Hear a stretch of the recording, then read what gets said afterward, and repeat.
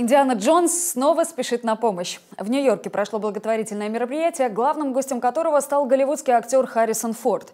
Звезда таких блокбастеров, как «Индиана Джонс» и «Звездные войны», посетил галаужин фонда Faces, чтобы поддержать людей, страдающих от эпилепсии.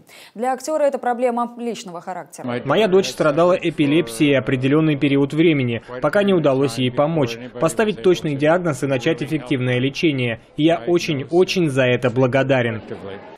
На аукционе в завершении вечера главным лотом стали также личные вещи Харрисона Форда. Среди них куртка, которая была на нем во время съемок в «Звездных войнах». Часть вырученных от аукциона средств будет направлена на поддержку нескольких проектов по улучшению качества жизни людей, больных эпилепсией.